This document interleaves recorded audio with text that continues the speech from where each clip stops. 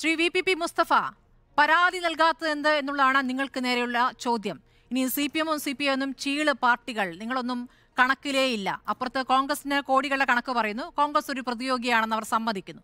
പക്ഷേ നിങ്ങളൊന്നും ആ കണക്കിലേ ഇല്ല പിന്നെ എന്തിനാണ് ഈ സി പി ഐക്ക് പതിനൊന്ന് കോടി പതിനൊന്ന് കോടിയുടെ നോട്ടീസ് ലഭിച്ചിരിക്കുന്നത്? അത് പിഴയാണ്. ആ പിഴ അടക്കേണ്ടതാണ്. അതിൽ അതുമായി ബി ജെ പിക്ക് ഒരു ബന്ധവുമില്ല കേന്ദ്ര സർക്കാരിന് ഒരു ബന്ധവുമില്ല. മറുപടി നൽകാം.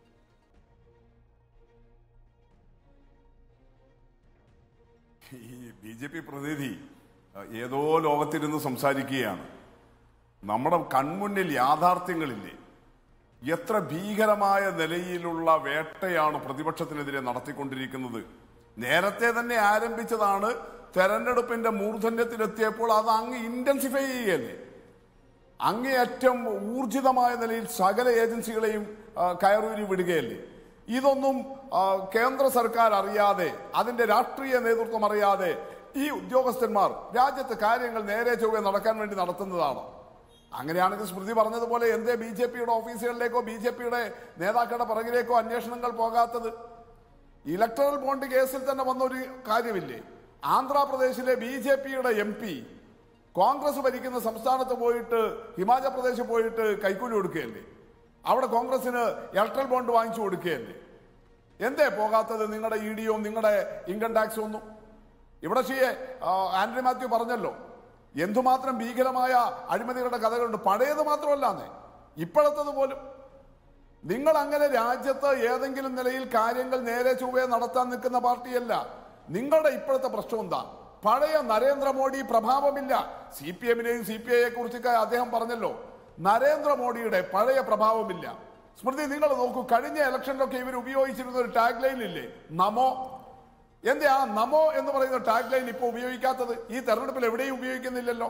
മോദിക്ക് ഗ്യാരണ്ടി വിധത്തിൽ ഇപ്പൊ നരേന്ദ്രമോദിയുടെ മോദിയുടെ ഗ്യാരണ്ടി മോദിയുടെ ഗ്യാരണ്ടി എന്ന് മോദി തന്നെ പറയുന്നു. നരേന്ദ്ര എന്തോ? മോദിയുടെ ഗ്യാരണ്ടി എന്ന് മോദി തന്നെ പറയുന്നു. അതാണ്.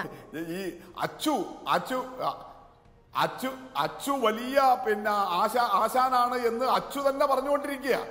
അത് സമൂഹത്തിൽ ബോധ്യമുണ്ടേ. നേരത്തെ അങ്ങനെ ആയിരുന്നില്ലല്ലോ. നമോ ഫാൻ എന്ന് പറയുന്നത് മോഡി ഉണ്ടാക്കിയതല്ലല്ലോ. ആളുകൾ കൂടിച്ചേർന്നുണ്ടാക്കിയതല്ലേ ബി ജെ പിക്ക് വേണ്ടിയിട്ട്. പക്ഷെ ഇത്തവണ മറ്റാരും പറയാതെ ഇദ്ദേഹത്തിന് തന്നെ സ്വയം പറയേണ്ടി വരികയല്ലേ. ഞാൻ വലിയ വില്ലാളി വീരനാണ് എന്ന്. എന്തൊരു വലിയ അവസ്ഥയിൽ ബി ജെ പി എത്തിയിരിക്കുക നേരെ ചൊവ്വ തെരഞ്ഞെടുപ്പ് നടത്താൻ. നമ്മുടെ രാജ്യത്ത് ജനാധിപത്യ മര്യാദകൾ പാലിച്ചുകൊണ്ട് തെരഞ്ഞെടുപ്പ് കമ്മീഷനെ സുതാര്യമായി പ്രവർത്തിക്കാൻ അനുവദിച്ചുകൊണ്ട് രാജ്യത്തെ ഉദ്യോഗസ്ഥ വൃന്ദത്തെ യാതൊരു തരത്തിലും സമ്മർദ്ദത്തിലാക്കാതെ ശരിയായ നിലയിൽ ജനാധിപത്യപരമായി തെരഞ്ഞെടുപ്പ് നടത്താൻ ബി ജെ പി തയ്യാറുണ്ടോ? കേന്ദ്ര സർക്കാർ തയ്യാറുണ്ടോ? നിങ്ങൾ കോൺഗ്രസിന്റെയും സി പി എമ്മിന്റെയും മറ്റ് ഇടതുപക്ഷ പാർട്ടികളുടെയും പ്രതിപക്ഷ പാർട്ടികളുടെയും എല്ലാം അഴിമതികൾ പിടിച്ചോ? നിങ്ങൾ ഈ തെരഞ്ഞെടുപ്പ് വരെ അതെല്ലാം മാറ്റിവെച്ച് എല്ലാ പാർട്ടികൾക്കും എല്ലാ പാർട്ടികൾക്കും സ്വതന്ത്രമായി പ്രവർത്തിക്കാൻ അനുവാദം കൊടുത്ത് തെരഞ്ഞെടുപ്പ് നടത്താൻ തയ്യാറുണ്ടോ? നിങ്ങൾ പേടിച്ച് നിൽക്കുകയാ. അങ്ങേയറ്റത്തെ ഭീതിയില്ല അത് മറികടക്കാൻ വേണ്ടിയിട്ടാണ് നിങ്ങൾക്കെതിരായിട്ട് വരുന്ന എല്ലാവരെയും നിങ്ങൾ ക്രൂശിക്കുന്നത്. ഇതേ ഇപ്പൊ പറഞ്ഞല്ലോ സി പി എമ്മിനെയും സി പി ഐ ഒന്നും ഞങ്ങൾക്ക് പ്രശ്നമില്ല എന്ന് നിങ്ങൾ എന്തിനാ അങ്ങനെയാണെങ്കിൽ പ്രബിയ പുർക്കായസ്ഥ ഇന്നലെയാണ്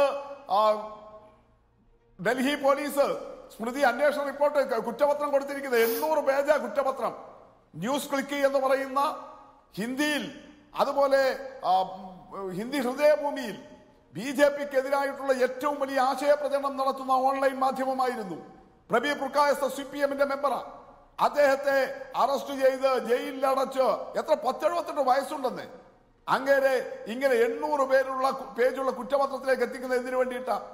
നിങ്ങൾക്കെതിരെ നടക്കുന്ന ചെറിയ ആശയപ്രചരണം. ഞങ്ങൾ ചെറിയ പാർട്ടിയാ.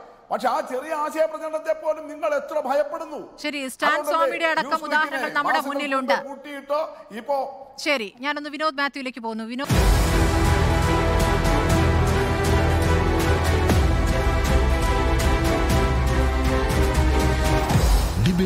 സ്മൃതി പരുത്തിക്കാട്.